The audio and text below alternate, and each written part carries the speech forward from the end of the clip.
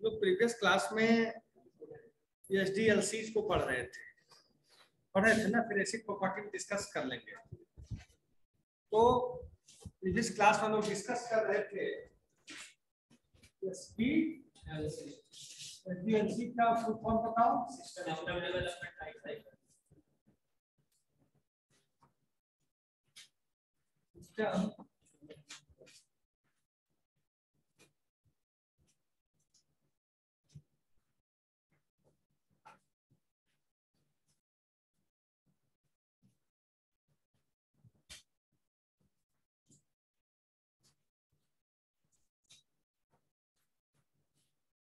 system development life cycle system development life cycle का मतलब ये हुआ कि इस सिस्टम को डेवलप करने के लिए we have to develop the system we have to cross all the phases we have to develop the system we have to cross all the phases we have to cross around 7th phases there are 7th phases in the system development life cycle there are 7th phases in system development life cycle hello sir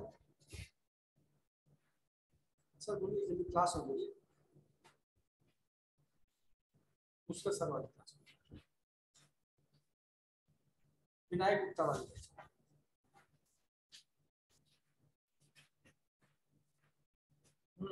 class में बाद बात करते हैं। में बात करते हैं after after one hour I will call you after one hour I will call you system development life cycle system development system का क्या मतलब? जैसे आपसे पूछ रहे मोटा मोटी what do mean by system system है क्या? सॉफ्टवेयर के बाद सिस्टम क्या है? हाँ सिस्टम एक सॉफ्टवेयर जैसे आज एक मेरा जैसे mobile phone this is also a system your laptop this is also system mobile this is also system. Ac is working this is also system. System का मतलब system is a set of components. System is a set of components that is used for achieving some certain goals some certain objectives. इसका एक तय होता है जिसको एक तय होता है कि इसको करना क्या है। जैसे टेलीफोन है आपका मोबाइल फ़ोन है तो उसका प्राइमरी गोल क्या है? प्राइमरी जॉब क्या है? कि have to talk primary goals secondary है कि you are using internet surfing internet running the web application many thing लेकिन प्राइमरी जॉब क्या है? We have to talk to each other उसी तरीके से फ़ैन का प्राइमरी जॉब क्या है he has to spread the air among the people among in the room primary job यही है ना एसी का प्राइमरी जॉब क्या है to become the room coolest and coolest यही है ना लैपटॉप का क्या है कि we have to write code we have to do some coding some typing typing मतलब we have to inputting the data inside the laptop. तो हर system car car is also system car में कितने multiple या कह सकते हैं more than thousand component are assembled inside a car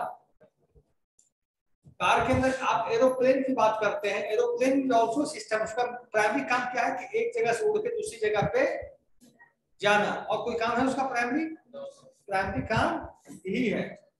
तो system क्या हुआ? System is a set of component that is interrelated to each other that is interrelated to each other to achieve some certain goals to achieve some certain objectives किसी certain goal के लिए, किसी certain objective के लिए। तो तो system जब हम डेवलप करते हैं, सिस्टम का मतलब जब हम यहाँ बात करेंगे तो that is a software that is a software तो जब सॉफ्टवेयर की हम बात करेंगे, कोई भी जब सॉफ्टवेयर हमको डेवलप करने जाना है तो we have to cross seventh phases we have to cross seventh phases we have to touch all the phases we have to conduct all the phases we have to touch all the phases पहला phase जो मैंने discuss किया था that is requirement हाँ उसी में होता है रिक्वायरमेंट गैदरिंग उसको बोलते हैं रिक्वायरमेंट गैदरिंग नेक्स्ट होता है इसी में इसी को बात की बात है। First statement requirement analysis requirement gathering requirement analysis तो जो फ़र्स्ट स्टेप है, जिसको क्या बोलते हैं recognisation of need first step हमने क्या बोला था? Recognition of R E C O G N I T I O N recognition of need हमने क्या बोला था फ़र्स्ट रिकॉग्निशन ऑफ़ नीड तो रिकॉग्निशन ऑफ़ नीड हमने जब पहले बोला था तो इसमें क्या होता है? We have to gather the information. We have to gather the information from different sources. अगर आपको इंफॉर्मेशन गेदर करना है वो डिफरेंट सोर्सेस से तो डिफरेंट सोर्सेज आपका न्यूज़पेपर भी एक सोर्स है इंफॉर्मेशन गेदर करने के लिए। आपका बुक बुक्स भी इंफॉर्मेशन गेदर करने के लिए बहुत बड़ा रिसोर्स है।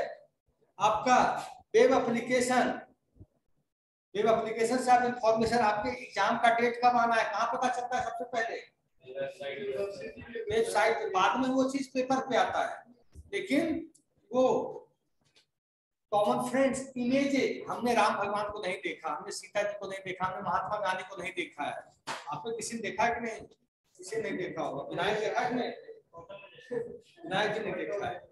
लेकिन वो फ़ोटो क्या हमको देता है? इंफॉर्मेशन देता है कि Gandhi ji was looking like this हमने भी नहीं देखा, आपने नहीं देखा। पंडित नेहरू को ना हमने देखा, ना आपने देखा। लेकिन उनकी इमेज हमें क्या बताती है कि ये व्यक्ति देखने में ऐसे थे। वो व्यक्ति देखने में ऐसे थे। तो क्या हुआ? Image is image is also giving you information image is also giving you some oriented result तो कहीं से आ सकता है आपको इंफॉर्मेशन चाहे टेक्स्ट हो ग्राफिक्स हो डेटा हो ऑडियो हो वीडियो हो एनिमेशन हो। आप देखते हैं गवर्नमेंट एक से एक एनिमेशन दिखाती है। आपके गाड़ियों चलाकर क्या होता है? What that animation gives you that animation gives you some information to all of you some information to all of you our society जैसे आप कहीं जाते हैं बिल्डिंग में तो वहाँ एक इमेज बना रहता है कि मास्क पहन के आइएगा, तब अंदर आने देंगे अदरवाइज़ नहीं आने देंगे। वहाँ मास्क लगा देगा। एक आदमी का फ़ोटो बना के मास्क लगा देगा। उससे हो गया क्लियर मास्क पहन के आना कंपलसरी है। तो हमें डेटा कहाँ कहाँ से मिलता है? टेक्स्ट से ऑडियो से ग्राफिक से वीडियो से एनिमेशन से बुक्स से वेबसाइट से न्यूज़पेपर से इमेजेस से, सब जगह से हमें डेटा मिलता है। कैसे? बहुत लोग देखे होंगे कि हमारे फादर बच्चे में कैसे दिखते थे तो फ़ोटो में दिख जाता है। अगर फ़ोटो घर में होगा, लोग देखते रहे मेरे पापा ऐसे थे। आपने हमने उनकी उस छोटी साइज़ को देखा नहीं जीवन में, लेकिन फ़ोटो हमें दिखा देता है। आपका गाँव पहले कैसा था, कैसा खपड़ैल था, क्या था? बहुत लोगों ने नहीं देखा होगा पचास साल पुराने गाँव अपने को। लेकिन फ़ोटो क्या करता है? आपको इंफॉर्मेशन देने का काम करता है। तो रिकॉग्निशन ऑफ़ मीडिया पहला चीज़ का था रिक्वायरमेंट गैदरिंग रिक्वायरमेंट को गैदर करना इंफॉर्मेशन को इकट्ठा करना, जितना हो सके इकट्ठा करना। फिर उसको रिक्वायरमेंट को एनालिसिस करना। सारा डेटा आप यूज़ नहीं कर लोगे। आपके पास सारा डेटा आ गया। लेकिन सारा डेटा आप यूज़ करोगे सारा। डेटा तो आप यूज़ नहीं कीजिएगा। जो इंपॉर्टेंट डेटा है उसी को आप यूज़ करने का काम कीजिएगा। जो इंपॉर्टेंट डेटा है उसी को आप यूज़ करने का काम करेंगे। तो डेटा वहीं से आप यूज़ करने का काम करेंगे जहाँ पे दूसरा रिक्वायरमेंट एनालिसिस सेकंड स्टेप पे हम जाते हैं.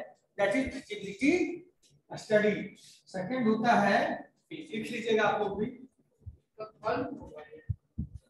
ये भाई रिकॉग्निशन ऑफ़ नीड का हिस्सा है सब पॉइंट्स सब पॉइंट्स बोल सकते feasibility S I P I L I T by writing थोड़ी पुअर है नहीं? क्या? पता चल रहा है इतने अच्छी नहीं तो इंसान को अपनी गलती जाननी चाहिए। राइटिंग पुअर है। कैसे सुधारे तुम लोग बताओ कोई तरीका है? सुधर सकता है सुधार किसी भी उम्र में हो सकता है।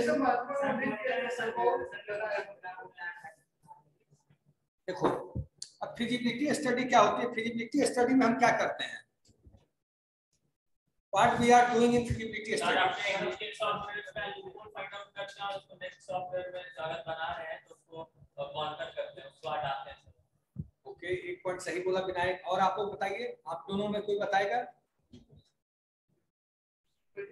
पढ़े ज़रूर होगे तुम लोग थर्ड ईयर से पहले कभी न कभी पढ़े होगे एसडीएलसी बहुत सर नहीं सर। क्या बात करते हैं। नहीं पढ़ा है सिलेबस में नहीं है। तो फिर कंपनी बहुत काम आता है ये चीज़ें। प्रोजेक्ट जब बनाते हो तो इसी सब में प्रोजेक्ट कोडिंग करना तो बहुत आसान काम है। यही सब चीज़ में अगर गलती हो गई तो कोडिंग आसान है। जैसे आप जावा में टेक्स्ट बॉक्स बनाना है कितना आसान है। Text box T one equal to new text box बन के तैयार है। एक लेवल बनाना है लेवल भी क्लास है Java level L one J level तो J level L one equal to new J level एक लेवल आपका बन के रेडी हो गया। लेकिन कितना लेवल चाहिए? कितना टेक्स्ट बॉक्स चाहिए? कितना कैलेंडर चाहिए? क्योंकि एक बार सॉफ्टवेयर बन गया उसको बाद में अपडेट करने में बहुत झमेला होता है बहुत परेशानी होता है लेकिन करना पड़ेगा ही। जब आप नौकरी कर रहे हैं तो करना पड़ेगा ही आपको। देखो, होता क्या है? एक कोड दूसरे कोड से अटैच है। कितना परेशानी आप एक जगह बदल के दूसरे में बदलो बताओ। एरर बना रहेगा। मान लेते हैं दूसरा कोड डेटाबेस से अटैच है। तो हम जाके बदलिए। आपको मैं एक चीज़ बताता हूँ। लाइव जो मेरे साथ प्रॉब्लम हुआ इंडस्ट्री के अंदर, वो मैं बता देता हूँ। एक कोड सुनो जरा जो मेरा होम पेज था उसमें एक कोड था कस्टमर कोड कस्टमर कोड एक, हमने कोड, सुनो मोड में प्रॉब्लम केस होता था? कस्टमर कोड एक होम पेज में एक हिस्सा था कस्टमर कोड इस कस्टमर कोड को हमने क्या किया? कि हमने डीबीएमएस से डीबीएमएस वहाँ यूज़ होता था प्रो एसक्यूएल कौन सा होता था? प्रो एसक्यूएल में. हम प्रो एसक्यूएल में इस कोड को कस्टमर कोड जो फ़ील्ड है, उसको हमने प्राइमरी की बना दी। प्राइमरी की हमने बना दी। ठीक है? जब प्राइमरी की हमने बना दी फिर जब दोबारा होम पेज को भरते थे तो मान लीजिए प्राइमरी की हमसे क्योंकि जब कोड बनता है तो उसको पचासों बार टेस्ट करना पड़ता है। तो हमने मान लीजिए वन ज़ीरो वन डाल दिया। वन ज़ीरो वन डाल दिया। फिर आप आए, आपने वन ज़ीरो टू डाल दिया। फिर वो आया वन ज़ीरो वन सारा लेते जा रहा है, लेते जा रहा है। इसमें यूनिकनेस क्लियर ही नहीं हो रहा था। यूनिक मतलब हमने अगर वन ज़ीरो वन डाल दिया फिर वो अगर लड़के अगर वन ज़ीरो वन डाले तो लेना नहीं नहीं नहीं चाहिए। हम परेशान हैरान करें तो क्या करें? प्रोजेक्ट मैनेजर डांटे हम हैं? क्या कर रहे हो भाई? लेना है। तो हम पूछे सर बताइए तो वो भी बहुत रिसर्च किया ताकि इसको यहाँ से हटा के डेटा बेस में ताकि प्राइमरी की हटा दीजिए। ठीक है सर हटा दीजिए। जावा स्क्रिप्ट कोड से इसको अटैच कीजिए। जावा स्क्रिप्ट कोड में यूनिक के लिए आप डाल दीजिए कि डेटा डुप्लीकेट ना ले तब वहाँ, जब जावास्क्रिप्ट से अटैच कर दिया तो प्रॉब्लम सोचो, हम दो तीन दिन बहुत परेशान रहे। तो ऐसे होता है ऐसी प्रॉब्लम कंपनी के अंदर आती है। डेटाबेस भी आपको परेशानी में डाल दे सर, वहाँ पे प्राइमरी डेटाबेस में मान लेते हैं जो भी इंटर किया होगा वहाँ तो डुप्लीकेट की नहीं जनरेट होगा तो मैसेज कैसे पता चलेगा कि ये की एग्जिस्ट कर रहा है फिर तो चेक करना पड़ेगा ना। नहीं उसी जावास्क्रिप्ट से जब डाल दिए तो जैसे 101 डाले अगर फिर आप डाल रहे हैं तो कह रहा है कि नहीं एग्जिस्टेड कोड एग्जिस्टेड कोड आप चेंज तो सर सर्च करना पड़ेगा ना जो जो भी इनपुट करेगा यूज़र उसको एग्जिस्टिंग जो नहीं एक आप सुने होंगे फ्रंट साइड वैलिडेशन आपने सुना होगा क्लाइंट साइड वैलिडेशन और सर्वर साइड वैलिडेशन तो जब हम क्लाइंट साइड वैलिडेशन कर रहे हैं तो जावास्क्रिप्ट इज़ बेस्ट डेटाबेस में डाल दीजिएगा तो आपको जहाँ ज़्यादा एंट्री है वो परेशानी पैदा हो जाएगा।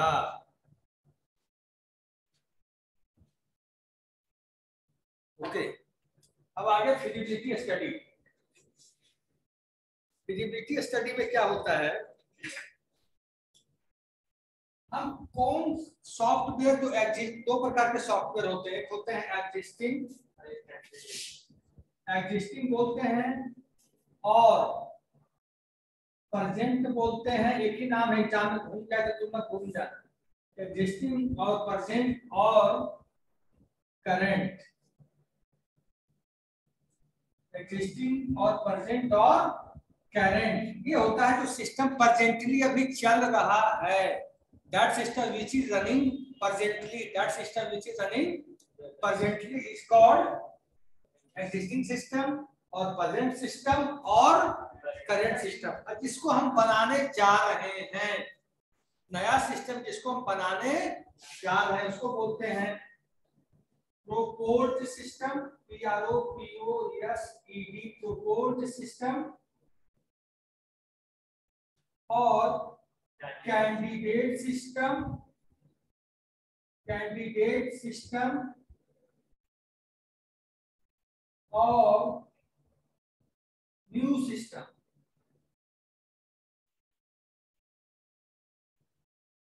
और न्यू सिस्टम तीनों नाम एक है। तीनों नाम एक है। ठीक है?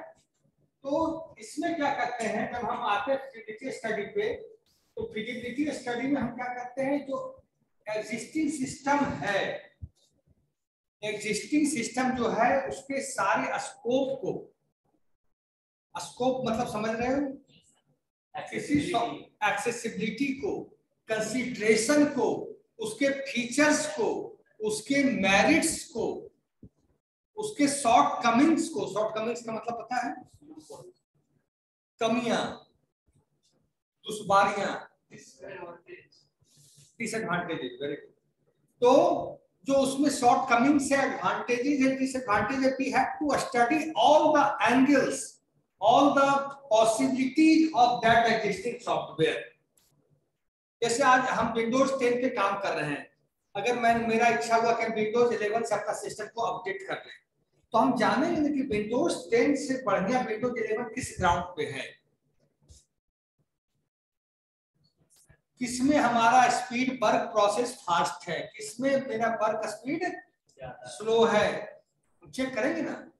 We have to check all the parameters then I have to move further okay तो एग्जिस्टिंग फिजिबिलिटी स्टडी में ही करते हैं एग्जिस्टिंग सिस्टम का और प्रेजेंट सिस्टम का हर पैरामीटर को चेक करते हैं। हम हर पैरामीटर को हम चेक करते हैं। और तब देखते हैं कि what are the shortcomings in this software and whatever we are going to develop a proposed software और न्यू सॉफ्टवेयर और कैंडिडेट सॉफ्टवेयर तो हम जो शॉर्ट कमिंग्स हैं, जो ड्रॉबैक्स हैं, उसको कैसे हम अपकमिंग सॉफ्टवेयर जो हम बनाने जा रहे हैं, उसको हम कैसे वहाँ से दूर करके उसमें एडवांटेजेस को और अटैच हम कर दें। ये होता है फिजिबिलिटी स्टडी में मेन चीज़। पुराने सॉफ्टवेयर के बारे में सारी चीज़ का एनालिसिस करना स्टडी करना और साथ साथ नए सिस्टम जो हम बनाने जा रहे हैं, उसके बारे में, उसके, उसमें कैसे हम सारे डिसएडवांटेजेस को रिमूव करके सारे एडवांटेजेस को उसमें अटैच करना। तो ये होता है फिजिबिलिटी स्टडी तो feasibility study is a study of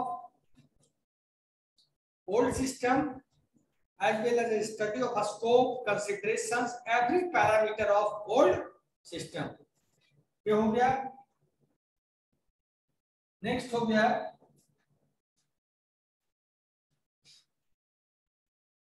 types of feasibility study लिख लिख सकते हैं तो लिखिए। टाइप्स ऑफ़ फिजिबिलिटी स्टडी पहला लिखिए। इकोनॉमिकल ये सब याद रखना। और आपसे इंटरव्यू में पूछेगा बिना इसके नौकरी नहीं होती सब बिना बताए। Economical feasibility study economical feasibility study second technical feasibility study technical feasibility study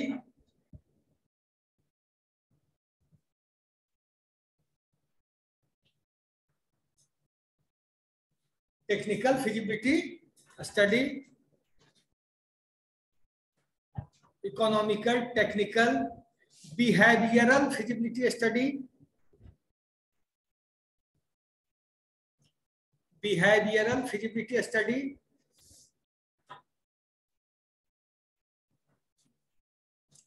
next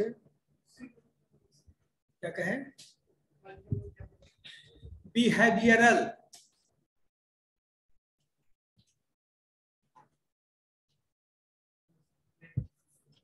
behavioral feasibility study next legal feasibility study legal l e g a l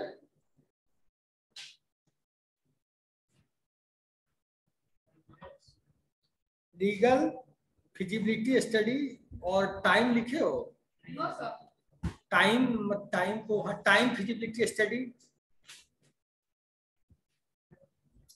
बस इतना ही है बाकी तो कॉस्ट बेनिफिट हाँ कॉस्ट पे अब पहला पॉइंट क्या हम Economical.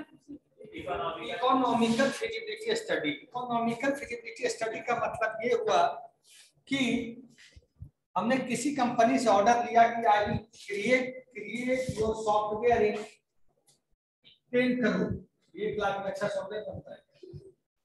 I will create I will take ten crore rupees to create your software I take ten crore rupees of तो जब कंपनी ने देखा कि सॉफ्टवेयर का हमें टेन करोड़ रुपीज़ मिलेगा कितना मिलेगा?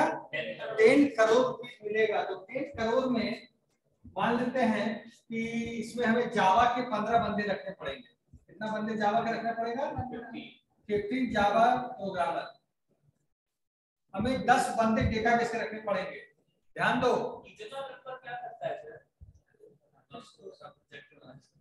दस बंदे डेटाबेस में हैं।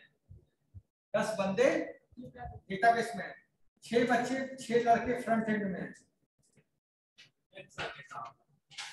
छह फ्रंट एंड में है। आठ लोग टेस्टिंग में है। आठ लोग टेस्टिंग में है। प्रोजेक्ट मैनेजर प्रोजेक्ट लीडर ये सब तो है ही है। तो 25 31 उनचालीस मतलब मिला जुला कर system analyst business analyst team मिला जुला के 45 बंदे 45 बंदे काम करेंगे इस प्रोजेक्ट में। तो जावा वाले बंदे को हमें देना पड़ेगा मान लेते हैं 80000 पर मंथ हर बंदे को। क्लेम करेगा क्या?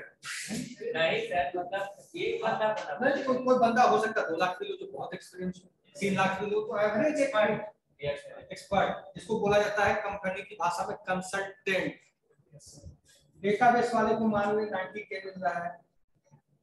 फ्रंट एंड वाले को मिल रहा है 60 टेस्टिंग को मिल रहा है 50 तो आप मान लीजिए 12 9 21 तीन.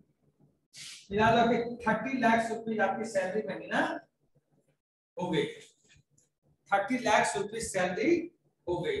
तो अब बात है भाई थर्टी लैक्स को हम देंगे, उसके बाद इलेक्ट्रिसिटी क्योंकि लोग लैपटॉप पे बैठेंगे थर्टी लोग के लिए लैपटॉप चाहिए।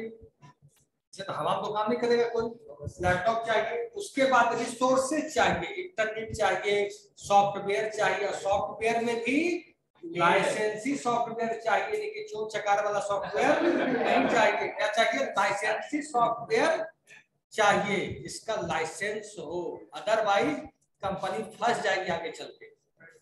अगर गलत सॉफ्टवेयर जिसको पायरेटेड बोलते हैं हम लोग वो सॉफ्टवेयर पे काम हो गया तो वो सॉफ्टवेयर बाद में आदमी फंस जाता है इंडस्ट्री फंस जाती है। ऐसा मान लेते कोई सॉफ्टवेयर से ओपन सोर्स में आ गया तो उसी ओपन सोर्स को दिक्कत है।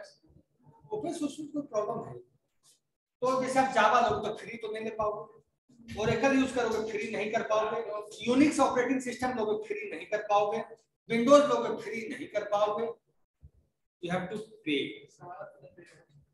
और जो ओपन ओपन है जो ओपन ही है तो उसके लिए क्या मतलब? है तो फ्री है ये तो आपको थर्टी लाख रुपये जा रहा है इकोनॉमिकल आपने देखा है प्रोजेक्ट बनने में लग जाएगा ग्यारह से बारह महीना।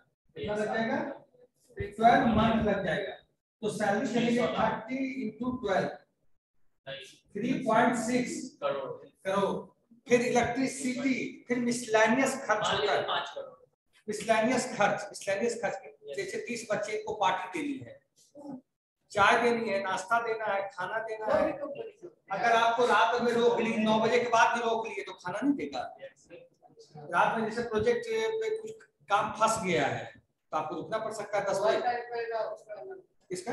ओवर टाइम नहीं मिलता। हाँ ओवर टाइम मिलता। आपको चाय नाश्ता आपको टूरिंग प्लेस कहीं घुमाने ले गई कंपनी होटल में घुमाने ले गई ये सब खाना डिनर ये होता। है overtime overtime as a bonus आपको कहीं पे रिगार्ड मिल जाता है? उसको डाउट नहीं है। आपके काम का रिगार्ड मिलता है। जैसे दिवाली आ गया, दस हज़ार आपको दे दी बोनस आपको रिगार्ड मिला कि नहीं? होली आ गया, बीस हज़ार दे आपके हाथ। ये मिलता है। ओवर टाइम रेलवे वाला सिस्टम नहीं तो पाँच करोड़ रुपया, छह करोड़ खर्च हो गया। तो कंपनी को फ़ायदा हुआ कि नहीं? हुआ ना। वही अगर कंपनी दस करोड़ में लेती और पैसा लग जाता, पंद्रह करोड़ सॉफ्टवेयर डेवलप करने तो क्या होता? इकोनॉमिकली लॉस होता कि नहीं?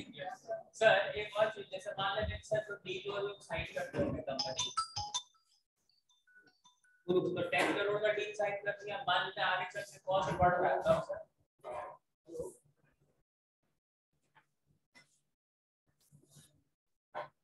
कौन? कहाँ से सर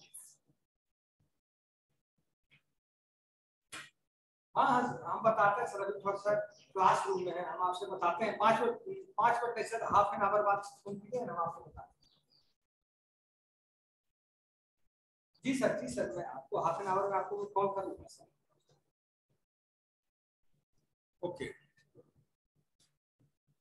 क्या बोल रहे थे? ये सर तो जैसे कि सर जब डील साइन किए 10 करोड़ का और आगे चल के अगर कॉस्ट ज़्यादा हो रहा है तब क्या होगा सर? देखिए उसमें दो चीज़ होता है। कॉस्ट गलती किस एंड से? पहले ये चीज़ देखना चाहिए कंपनी आप मतलब जो डेवलप कर रहा है उसके तरफ़ से या जो क्लाइंट है डिपेंड करता है नीड क्या मान लेते हैं क्लाइंट जो था वो पहले बताया कि हमको ये ये फीचर चाहिए। अब मान लेते हैं वो बढ़ाना चाहते हैं तो कॉस्ट पैसा बढ़ जाएगा. जैसे आप जान लो हम लोग जैंगो में बनाते थे टेबल तो टेबल मान लिया बन गया। टेबल में एक एक फ़ील्ड है मतलब आठ फ़ील्ड है। बाद में कंपनी का दो फ़ील्ड और बढ़ा दो भाई। हो गया कि दो लाख रुपए बढ़ा बढ़ जाएगा। तो पहले बात से बात बढ़ेगी तो पैसा बढ़ेगा। है तब तो तो आपको भोगना है जैसे दीजिए. क्योंकि लेकिन हाँ। वो पहले का एरिया फिक्स कर लेता है। कंपनी कि इसमें दो प्रकार से होता है। कंपनियाँ तो फिक्स कर लिया दस करोड़ में या बात होती है कि हम चेंज भी करवाते रहेंगे फ्रीक्वेंटली कुछ ना कुछ हम अपने सॉफ्टवेयर को चेंज करवाएँगे। तो उसमें कहे जाए कहा जाएगा कि फिर तीन करोड़ रुपया इसका और बढ़ जाएगा। सर तो ये करवाते जो चेक। ठीक होगा ना सर सारे इंफ्रास्ट्रक्चर के कॉस्ट को कैलकुलेट करता होगा। भाई उसमें होता है बिज़नेस एनालिस्ट होता है आईटी इंडस्ट्री के अंदर। बिज़नेस एनालिस्ट इसका काम है। मेरे दो दोस्त काम कर रहे हैं इसमें दोनों दुबई में। बिज़नेस एनालिस्ट होता है इस काम के लिए। क्योंकि प्रोग्रामर को क्या पता कि भाई क्या कॉस्ट आने जा रहा है। प्रोग्रामर को क्या पता? और प्रोग्रामर को क्या पता कि क्या काम होने जा रहा है? प्रोग्रामर प्रोग्रामर तो केवल प्रोग्रामर को पता कि हमें कोडिंग करनी है। बहुत होता है प्रोजेक्ट प्रेजेंटर होता है कंपनी के अंदर जो आपको प्रोजेक्ट बताएगा कि ये ये करना है आपको, ये ये काम करना है। प्रोग्रामर को तो आप बोल कि टेक्स्ट बॉक्स आप बना दो चार, और टेक्स्ट बॉक्स के अंदर ये फंक्शनलिटी डाल दो। बस। लेकिन बताएगा कौन प्रोग्रामर को? उसके लिए भी टीम होती है जिसको हम लोग बिज़नेस एनालिस्ट बोलते हैं सिस्टम एनालिस्ट बोलते हैं डेटा एनालिस्ट बोलते हैं। तीन लोग आपसे ऊपर भी बैठे रहते हैं। इन तीनों के ऊपर बैठा रहता प्रोजेक्ट मैनेजर तो सर हर प्रोजेक्ट के लिए एक प्रोजेक्ट मैनेजर होंगे? नहीं नहीं एक प्रोजेक्ट मैनेजर दो तीन प्रोजेक्ट डील करता है उसकी तनख्वाह होती है तीन लाख दो लाख तो एक ही कैसे काम देगा कंपनी उसमें। तो उनका रिस्पांसिबिलिटी होता है क्या सर कि जैसे सारा मेंबर काम सही से कर रहा है। सबसे कोऑर्डिनेट करना अगर किसी को काम करने में दिक्कत हो रहा है तो उससे बात करना समझाना कन्विंस करना। अगर बिल्कुल नहीं उनको समझ में आ रहा है तो फिर क्लाइंट से उसको मीटिंग डायरेक्ट करवाना। कभी कभी होता है कि प्रोग्रामर समझ ही नहीं पा रहा है जैसे देखो जो एडवांस प्रोग्रामर हो जाते हैं जो काफ़ी सीनियर हो जाते हैं प्रोग्रामिंग करते करते उनका तो नॉलेज लेवल बहुत अच्छा हो जाता है।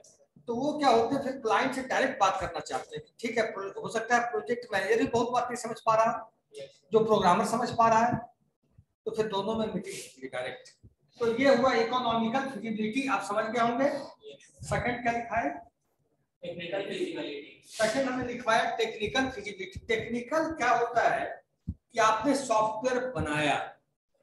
जो आपने सॉफ्टवेयर बनाया कभी कभी आप देखे होंगे कि आप कोई एप्लीकेशन खोल रहे हैं वेब ब्राउज़र पे। तो वो हर वेब ब्राउज़र को ढंग से नहीं खुलता होगा। कोई इंटरनेट एक्सप्लोरर पे कायदे से खुल रहा है तो अपाचे पे नहीं। अपाचे पे खुल रहा है तो सफारी पे नहीं। ये अपाचे नहीं ये नाम है उसका।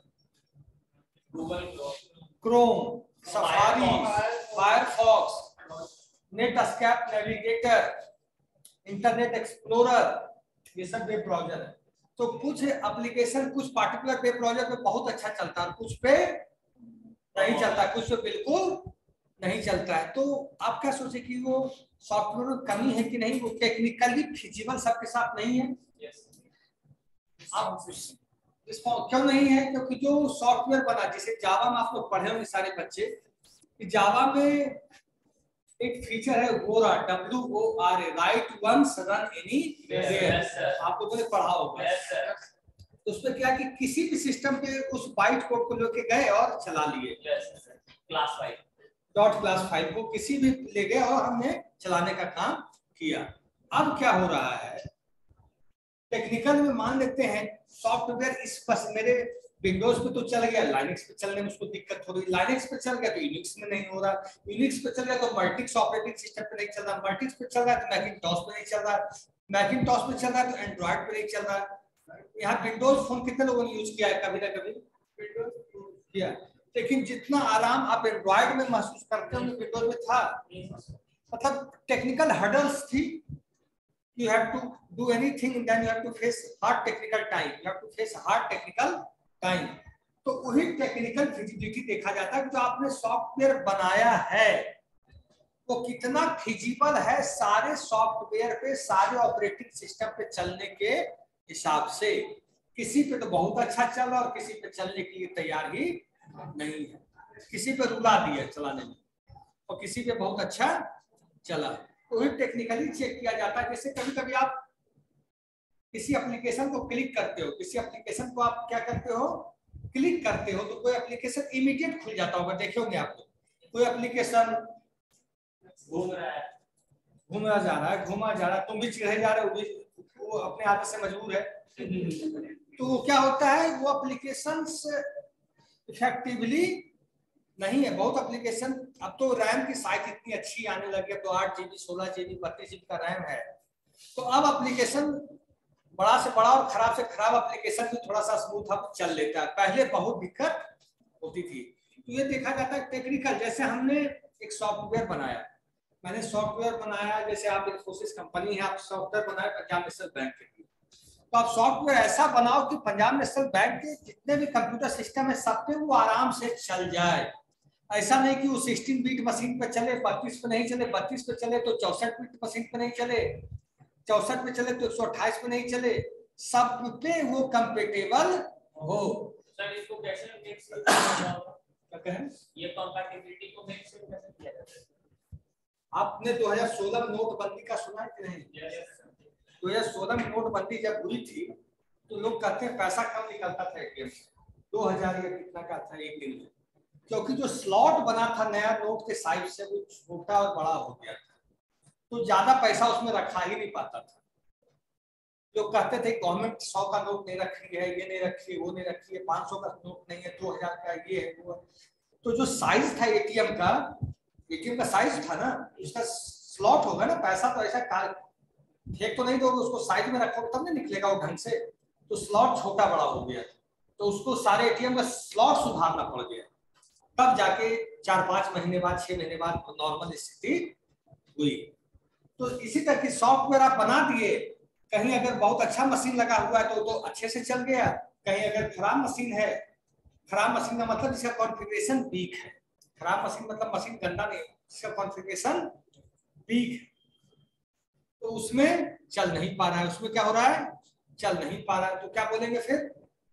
तो हम ऐसा सॉफ्टवेयर डेवलप करेंगे कि ले मैन से ले मैन उसको यूज़ कर सके। जैसे व्हाट्सएप है व्हाट्सएप ज़्यादा साइज़ नहीं लेता कभी देखना चेक करके व्हाट्सएप का साइज़ बहुत छोटा होता है। मोबाइल में चेक करना।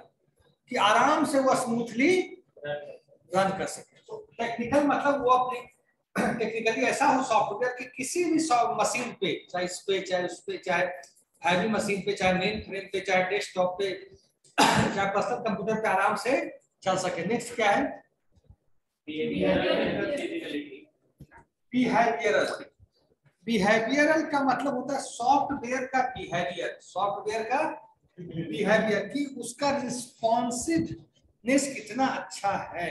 उसका रिस्पॉन्सिवनेस कितना अच्छा है। है जैसे कभी कभी आप एसी ऑन ये फ़ैन कभी कभी आप बटन दबाए फ़ैन चलने लगता है।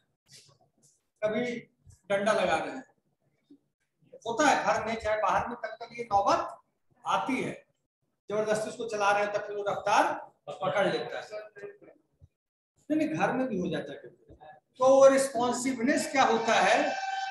उसका रिस्पॉन्स इसका रिस्पॉन्स अच्छा है उसका रिस्पॉन्स पुअर है। तो आपके बिहेवियर मतलब सॉफ्टवेयर का बिहेवियर कितना अच्छा है?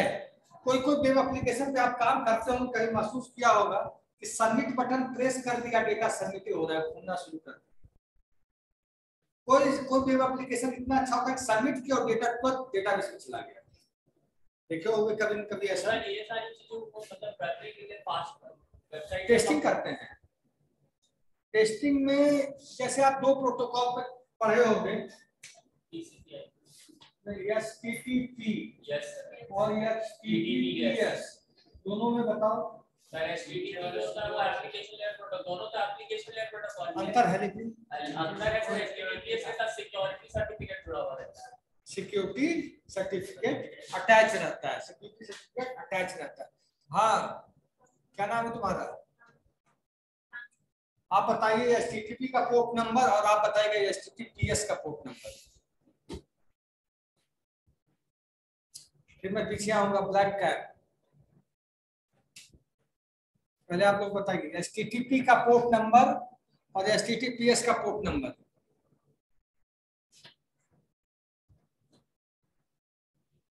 बताओ।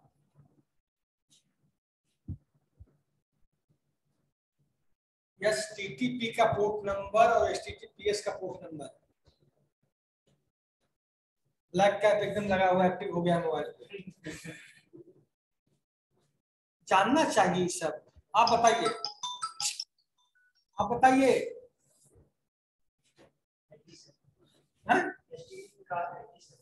वेरी गुड एस देख नहीं पाए, देख चुके कितना? वेरी गुड हाँ सर, अभी क्लास में no sir I not free I class ये B C A B two third year कहाँ थे आप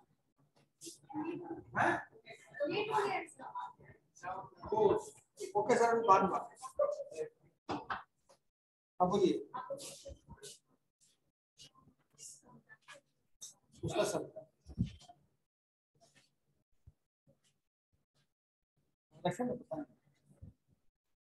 okay. S T T P का port number S T T P S आप बताइए। तुम बताओ। पोर्ट नंबर का उपयोग क्या है? हाँ, जैसे कि हर एप्लीकेशन का स्पेसिफिक पोर्ट नंबर होता है। उसमें कि अगर ये डेटा को करना तो उस पोर्ट नंबर के द्वारा किया जाता है। वो पोर्ट नंबर से निकलता है ताकि जो का डेटा जो नहीं है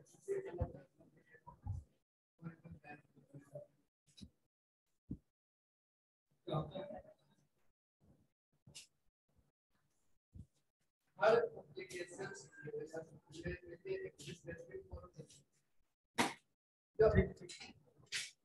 ठीक है ना तो एप्लीकेशन कॉलेजन हो जाएगा सही हो जाएगा ओके तो बिहेवियरल हो गया।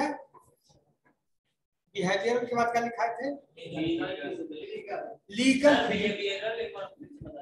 बिहेवियरल का मतलब सॉफ्टवेयर का बिहेवियर कैसा है?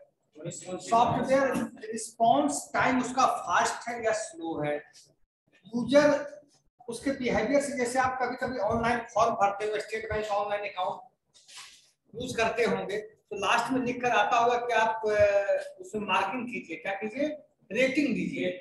रेटिंग क्या है? उसके बिहेवियर से आप कितना खुश हुए? अगर उसका परफॉर्मेंस देखा दिखा कि पुअर ज़्यादा लोग लिख रहे हैं मतलब समथिंग इज़ रॉन्ग अरे तुम किसी होटल में गए जैसे एग्ज़ाम्पल गए आपने होटल में गए आपको काफ़ी अच्छा सर्विस मिला खाने पीने का। तो आप क्या लिखोगे? पुअर और गुड और आप बहुत अच्छे होटल में गए लेकिन यू आर नॉट सेटिस्फाइड क्या लिखोगे? तो उसके बाद जैसे ही वो ऑनलाइन आजकल सारा ऑर्गेनाइजेशन ऑनलाइन करना चाहता है। ऑनलाइन में क्या होता है कि जब पेपर पे भी होता है कि जो भी कमी है उसको हम कैसे दूर सर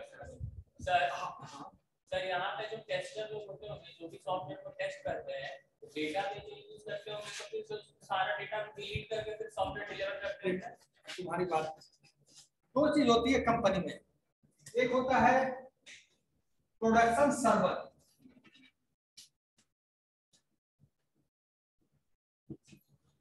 प्रोडक्शन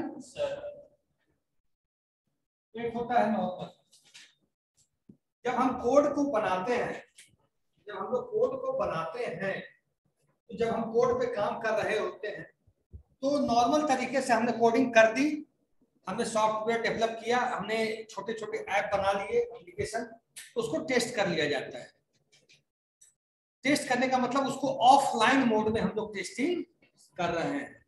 लेकिन जब प्रोडक्शन सर्वर पे टेस्टिंग होती है, जिसको हम लोग बोलते हैं लाइव टेस्टिंग प्रोडक्शन सर्वर की टेस्टिंग बहुत हाई रिस्क जोन में होती है कि उसमें गलती अगर हो गया तो सॉफ्टवेयर में फ़र्क आ जाएगा। हम लोगों ने ईआरपी सॉफ्टवेयर काम किया है रियल टाइम सॉफ्टवेयर चल भी रहा है ऑनलाइन मोड में, वहाँ डेटा हम लोगों चेंज किया, लेकिन बहुत उस समय अलर्ट मोड में रहता है, उसमें ना किसी से गप कर करते हैं बगल वाले से ना कुछ, क्योंकि एप्लीकेशन भी ऑनलाइन चल रहा है और आपको, हमको डेटा में कुछ कुछ चेंज करना है।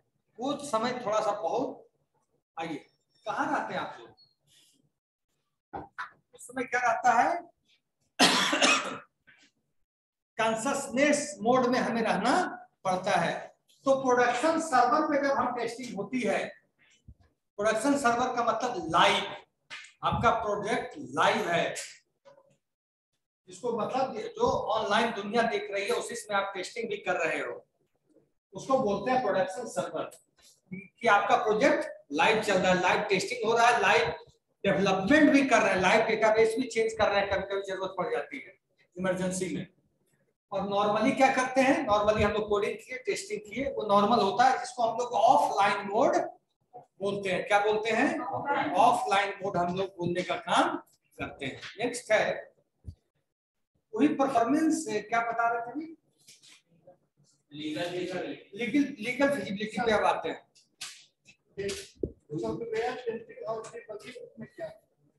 बता देते हम लोग टेस्टिंग कर लिए। हम लोग सॉफ्टवेयर को टेस्ट कर लिए क्या दिक्कत है? हमने गूगल फॉर्म बनाया या हमने डेवलपर को भेज दिया भैया ये देख लो। और स्क्रीन शॉट करके भेजा जाता है कि तो वो भी चढ़क जाता है सामने वाला तो दिन भर काम किया, फिर आपने उसको कमी निकाल दी शाम के टाइम में। गुस्सा होता है, स्वाभाविक इंसान है। काफ़ी गुस्सा होता है। आदमी, क्योंकि आप दिन भर काम करोगे तो आपकी कमी निकाल दे, कैसा लगेगा? लेकिन उसकी भी मजबूरी है टेस्टिंग टीम को क्या करे बेचारा। तो होता क्या है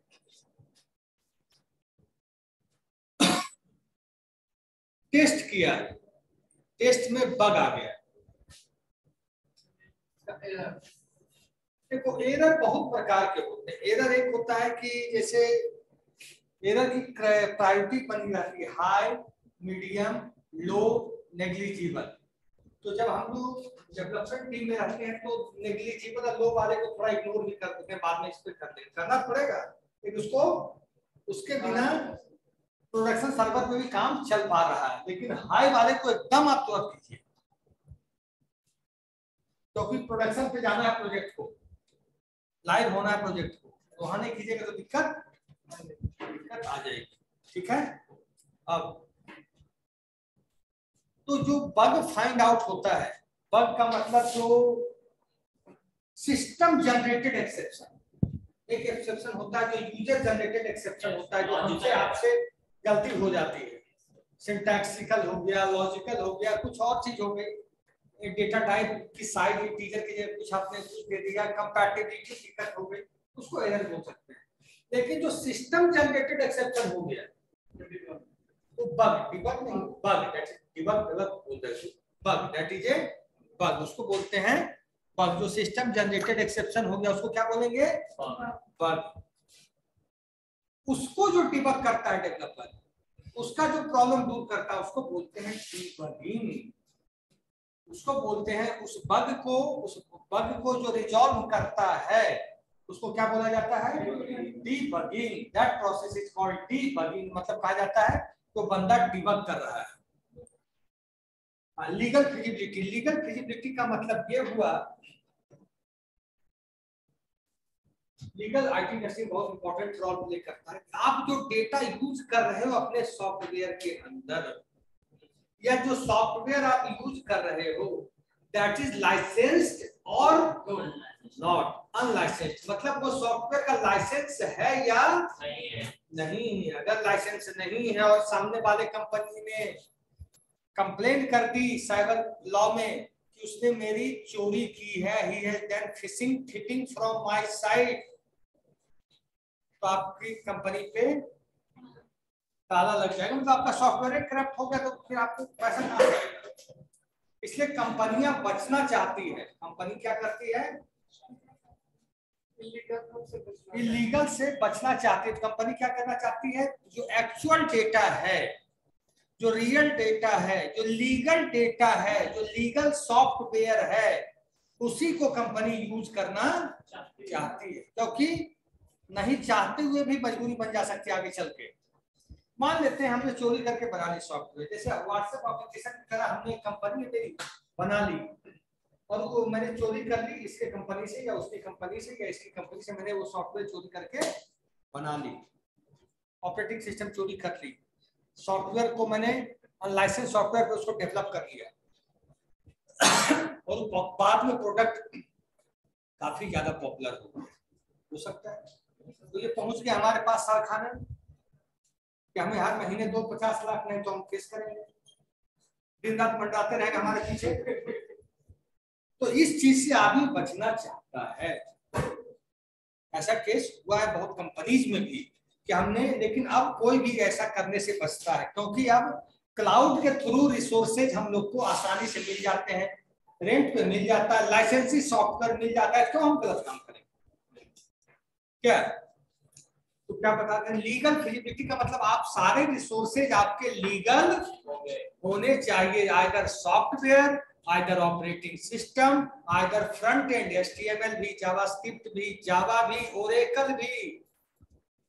जो भी आप यूज़ कर रहे हैं that is a legal sir तो एक बार अगर कोई का सब्सक्रिप्शन लेता है तो उसको तो मल्टीपल प्रोजेक्ट्स यूज़ कर सकता है। देखिए कंपनी को बताना पड़ता है कि ये जो मैं ले रहा हूँ आपसे ओरेकल इसको मैं कितने मशीन में यूज़ करूँगा? कितने दिनों तक? अच्छा थोड़ी एक बार ले लिया पचास साल करते रही तो ओरेकल फिर नया वर्जन करेगा क्या? उसका जो चल रहा है, लाखों लोगों की रोजी रोटी कैसे चलेगी? ठीक है? हैं? का लगभग लगता है अस्सी। अस्सी हज़ार। एक सिस्टम रियल तो उस सॉफ्टवेयर में फिर कोई दिक्कत ही नहीं होगा। तो लोग क्लाउड से ले लेते हैं कि एक साल हम यूज़ करेंगे दस हज़ार रुपए देके क्लाउड को। लाइसेंसी सॉफ्टवेयर पे आप काम किए आपके पास पेपर है, कोई आप पे उंगली नहीं उठा सकता। इसलिए क्लाउड इतना पॉपुलर हो गया। बिल्कुल। इसीलिए तो क्लाउड इतना पॉपुलर होता गया कि नए लोगों के लिए कहाँ तक सॉफ्टवेयर खरीद के दे पाएगा ही लोग विप्रो में जितने बच्चे जाएँगे सब क्लाउड से रिसोर्स आया गया वहाँ। थोड़ी कंपनी खरीदेगी इतना। सर एक क्वेश्चन सर जनरली जो है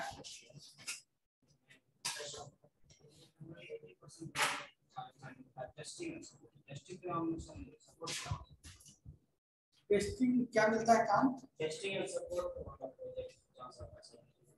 सपोर्ट ये होता है कि आपको सीनियर के साथ बैठा दिया। जैसे ये टीम है, एक प्रोजेक्ट चल रहा है तो आपको सपोर्ट में क्या है जी तुम ओरेकल का टेबल बना देना। तुम एचटीएमएल का थोड़ा कोड लिख देना। बेसिक लेवल पे आपको हाई फाई कोड नहीं दे देगा। आप लीजिएगा उलट पुलट कर तब कंपनी आपको छह महीने में मेन प्रोजेक्ट में दे रही आपको छोटा छोटा काम से अवेयर कराते रहेगी आप सीख पा रहे हो कि नहीं। तो सपोर्ट जब तक, जैसे कोई भी ड्राइविंग सीखता है तो क्या एक बार चला देता है बाइक क्या? कुछ दिन फिर फिर मतलब छोटा फ़ील्ड में, फिर बड़ा फ़ील्ड में फिर रोड पे आता है। फिर धीरे धीरे धीरे धीरे उसका अभ्यास होता है। अगर एक्सपीरियंस पर्सन के तौर पे जाओगे तो आपको सीट पे बैठा देगा सेम डे फ़ैशन को टाइम मिलता है, छह महीने, आठ महीने, नौ महीने, दस महीने, ग्यारह महीने। लेकिन एक साल का फिर आपको दौड़ना है पूरी तरीके से। फ़ैशन को आराम रहता है। तो सीखने का मौका मिलता आराम क्या? अगर आप टाइम गप करके निकाल दिए तो आपका नुकसान। है कि नहीं? नेक्स्ट क्लास में हम लोग एनालिसिस डिस्कस करेंगे। टाइम की फिजिबिलिटी बताया कि नहीं? है लीगल हो गया। टाइम फिजिबिलिटी क्या होता है? कि आप जो between the given time constant between the given time constant जो आपने तैयार हुए हैं कि आपने क्लाइंट को बोला कि I will create the project in a 12 month I will create the project in a 2 year तो आपको project within the time frame देना होगा क्लाइंट को। नहीं तो आपकी इमेज खराब हो जाएगी। क्या होगी आपकी इमेज खराब हो जाएगी। तो कि अगर आपने कहा कि हम दो साल के अंदर इस प्रोजेक्ट को डेवलप करके आपको दे देंगे और आप उसको लगा दीजिए चार साल तो क्या होगा? कंपनी के मन में आपके प्रति क्या रह जाएगा? कि बहुत बेकार कंपनी है। तो अपने दस दोस्त जिसको जो आपको देना भी चाह रहा है उसको भड़का देगा। कि आदमी फंसा देगा तुम लोग को। तो टाइम फ्रेम का मतलब उससे लॉस भी होगा ना अगर आप टाइम फ्रेम में ज़्यादा समय लगा दी तो सबको सैलरी भी देते रहिए फिर। तो क्या आदमी काम करेगा तो पैसा लेगा ही। कोई भी आदमी कहीं भी काम करेगा तो पैसा लेगा ही। तो उसकी सैलरी भी बनते बढ़ते जा रही है। जो जो जो सैलरी चार करोड़ में होनी चाहिए अगर समय दुगना लग गया तो आठ करोड़ हो गया तो कंपनी का भी लॉस हो गया टाइम भी लॉस कर गया छवि भी क्रैश कर गई। सब कुछ कंपनी का लॉस हो गया एकदम। सर प्रोजेक्ट जितना भी प्रोजेक्ट कोई कंपनी करती है सबका सर रिकॉर्ड मेंटेन करना करता हूँ। मैं सोचता हूँ बहुत बड़ा रिकॉर्डिंग मेंटेन होता है। और सर ये भी तो कोई सॉफ्टवेयर सिर्फ़ बना के दे दिया किसी सॉफ्टवेयर के लिए मेंटेनेंस होता क्या? है उसी तो इंडिया की 90 परसेंट कंपनी मेंटेनेंस से चलती है। जैसे इनफी टीसीएस तो सबने किसी किसी बैंक को दे रखा है सर्विस के सबको 200 250 करोड़ मिलता है एक साल का सर्विस देने का। कंटिन्यूअसली सब उसको मॉनिटर किया जा रहा है। हज़ारों इंजीनियर काम करते हैं तो। अब जैसे कहीं भी बैंक का साइट नहीं चला तो उसने मेल किया इन्फोसिस को देखिए प्रॉब्लम है इंजीनियर आ जाएगा। आ जाएगा तो वहीं से कर देगा। नहीं देखो कभी कभी एप्लीकेशन ऐसा होता है कि दूर से भी नहीं हो पाता है। रिमोट एक्सेस नहीं कहीं कहीं लेकिन जहाँ से रिमोट से हो जाता है रिमोट से जैसे भी होना है करना है इन्फोसिस को ही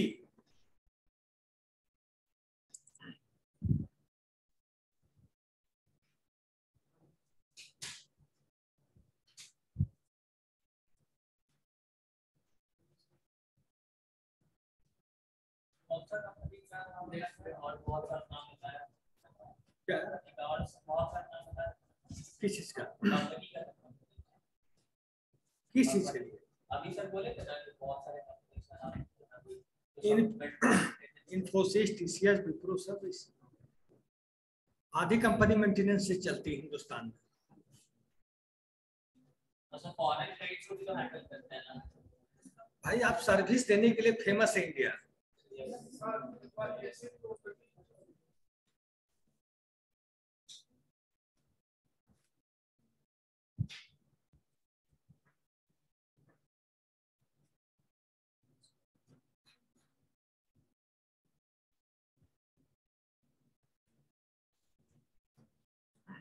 एसिड प्रॉपर्टी अभी मैं शॉर्ट में बता देता हूँ। ACID property ACID property contains for A for atomicity C for consistency I for isolation और डी फॉर ड्यूरेबिलिटी एटोमिसिटी का मतलब होता है आइडर और नन एटोमिसिटी का मतलब होता है आइडर आइडर और नन आइडर और नन का क्या मतलब हुआ? या तो पूरा या तो कोई या तो पूरा या नहीं। जैसे हम कोई सा भी ट्रांजेक्शन अगर कर रहे हैं हम कोई सा भी ट्रांजेक्शन कर रहे हैं या तो वो हंड्रेड परसेंट होगा।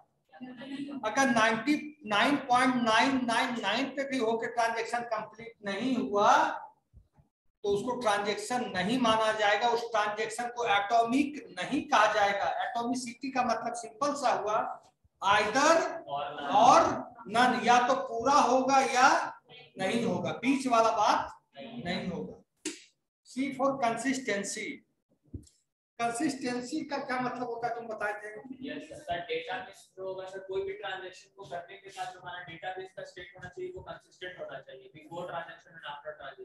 तो सर, अगर अगर सर मान लेते कि कुछ ही जाए तो वो चीज़ नहीं होना चाहिए हमारे database before and after transaction sir consistency of database maintain करना चाहिए देखिए जैसे मैं बता रहा हूँ कंसिस्टेंसी का मतलब कंसिस्टेंसी का मतलब जो भी ट्रांजेक्शन हो रहा है हमने रेलवे का डेटाबेस की बात करो। पटना से दिल्ली की ट्रेन का आपने टिकट लिया अगर थर्ड एसी में सत्तर सीट था आपने दो टिकट लिया तो सिक्सटी एट हो जाना चाहिए। अगर सिक्सटी एट की जगह वो सेवेंटी बना रहे तो डेटा कंसिस्टेंट नहीं है। नहीं है। मतलब इंसर्शन अपडेशन और डिलीशन और any operation whatever you are performing on the database of railway banking your college your school वो परफॉर्म होना चाहिए। जो डेटा काम करे, वो डेटा दिखना चाहिए। Data operation should be reflected on the database मतलब अगर जैसे मान लेते हैं, रमेश के अकाउंट में, रमेश एक व्यक्ति है उसके अकाउंट में रमेश एक व्यक्ति है, उसके अकाउंट में टेन थाउज़ेंड रुपीज़ है। रमेश एक आदमी, उसके अकाउंट में टेन थाउज़ेंड रुपीज़ है। उसके दो बच्चे पढ़ते हैं बाहर। एक बच्चे ने फाइव थाउज़ेंड रुपीज़ निकाल लिया। एक, उसके दोनों एटीएम उसके दोनों बच्चे के पास है। एक बच्चे ने फाइव थाउज़ेंड रुपीज़ उससे विड्रॉ कर लिया। दूसरे बच्चे ने सेवन थाउज़ेंड उसमें सबमिट कर दिया। वो जॉब में है बंदा। दूसरा बच्चा तो कितना है उसके अकाउंट में होना चाहिए? ट्वेल्व थाउज़ेंड होना चाहिए। और अगर ये चीज़ें ट्वेल्व थाउज़ेंड नहीं आके केवल पैसा निकाल लिया फाइव थाउज़ेंड दिखे और सेवन फाइव थाउज़ेंड दिखे और सेवन थाउज़ेंड जो उसने अपडेट किया है, वो नहीं दिखे तो क्या वो कंसिस्टेंट माना जाएगा? No no. मतलब जो आप ट्रांजेक्शन कर रहे हैं that should be consistent that should be integrated that should be integrated आपका डेटा कंसिस्टेंट होना चाहिए किसी भी हालत में। आपका डेटा कंसिस्टेंट होना चाहिए किसी भी हालत में। समझ गए? जो भी ट्रांजेक्शन है। वो रिफ्लेक्ट होना चाहिए कि जो ट्रांजेक्शन आप कर रहे हैं that is proper and consistent अब हुआ आइसोलेशन आइसोलेशन का मतलब ये हुआ फोर ट्रांजेक्शन चल रहे हैं। T one T two T three और T four four transaction are working T one T two T three T four इसका एग्ज़ाम्पल मैं आपको दे रहा हूँ। एटीएम से पैसा भी निकाला जा रहा है और गूगल पे भी किया जा रहा है। इसका एग्ज़ाम्पल दे रहा हूँ। एक ट्रेन है राजधानी एक्सप्रेस उसमें 90 सीट्स है सेकंड एसी की उसको T1 भी एक्सेस कर रहा है, पटना में काउंटर पे बैठ के T2 एक्सेस कर रहा है, दिल्ली में काउंटर पे बैठ के T3 एक्सेस कर रहा है, चेन्नई में काउंटर पे बैठ के फोर एक्सेस कर रहा है बॉम्बे में काउंटर पे बैठ के। चार लोग हैं चारों डिफरेंट लोकेशन पे हैं। लेकिन सीट तो नब्बे ही है। रिसोर्स तो वही है। Four transaction are working in a parallel manner four transaction are working in a simultaneous manner but all transaction are unaware but all transaction are unaware to Each other. each मतलब किसी को किसी के बारे में पता नहीं है। नहीं है। क्या जो टी वन में बैठा हो पटना में उसको टी फोर बॉम्बे वाला का पता है? या टी थ्री दिल्ली में बैठा उसको चेन्नई वाले का पता है? इसी बोलेंगे कि four there are executing many transaction in a parallel manner but all are unaware to each other चारों एक किसी से एक दूसरे से अवेयर नहीं है। दिस इज़ कॉल्ड आइसोलेशन एक एक बचा ड्यूरेबिलिटी क्या बचा ड्यूरेबिलिटी ड्यूरेबिलिटी ड्यूरेबिलिटी का मतलब अगर आपने डेटाबेस में कमिट कर दिया है लॉक लगा दिया है तो फिर डेटा आपका लॉस नहीं करना चाहिए आइदर फायर और flood burn into your room जहाँ पे आपका सिस्टम रखा हुआ है वहाँ पे चाहे फायर जनरेट हो जाए फ्लड जनरेट हो जाए कुछ भी जनरेट हो जाए लेकिन आपका डेटा लॉस नहीं होना चाहिए। दिस इज़ कॉल्ड ड्यूरेबिलिटी इसे तो डेटा सेंटर में रखा जाता है। मतलब कहने का मतलब ये हुआ कि आप डेटा को तो भी।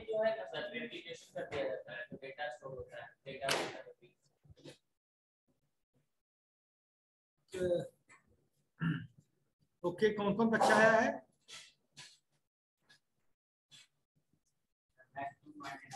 बिल्कुल बैच वन का कहानी हुआ ही नहीं।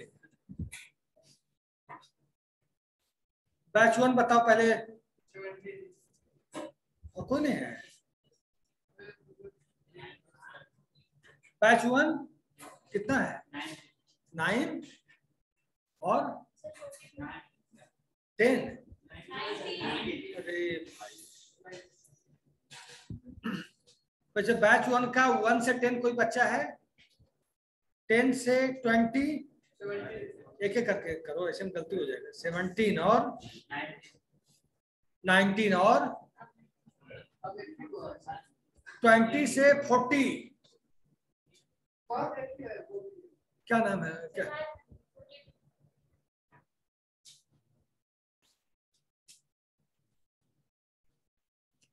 ओके। और कोई नहीं है। बैचमैन लापरवाह इसका मतलब।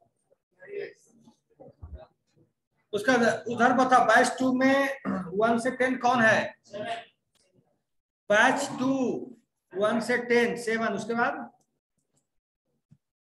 टेन तक कोई नहीं है। टेन से ट्वेंटी सेवन हो गया। थर्टीन आगे बोलो।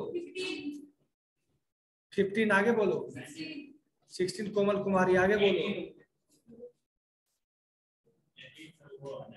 कौन एटीन आप है। एटीन और? नाइनटीन और? ट्वेंटी से थर्टी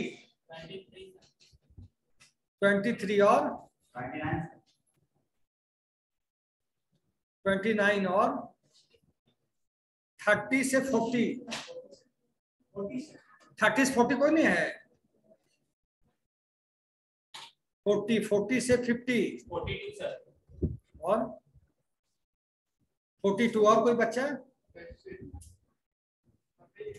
बारह, तेरह बच्चे हैं क्लास में।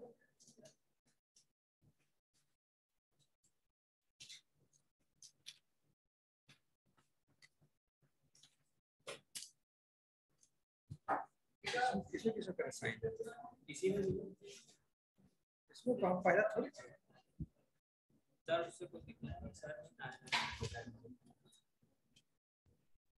आपका अच्छा मेरा पहला क्लास मेरा ही हुआ है। यस पुष्कर सर का पहला है। इसमें करते हैं नहीं सर उसमें रहता है ग्यारह अच्छा टाइम चेंज हाथ पे चेंज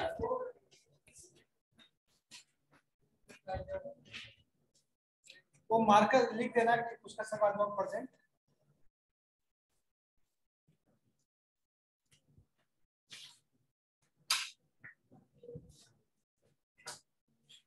लेट मत बताया करो कोमल लेकर यार ये लेकर ये है आज और बच्चा भी आया ब्लैक टाइम आया करो? ये टाइम आने का प्रयास करो स्मार्ट बच्चे बनो भाई। स्मार्ट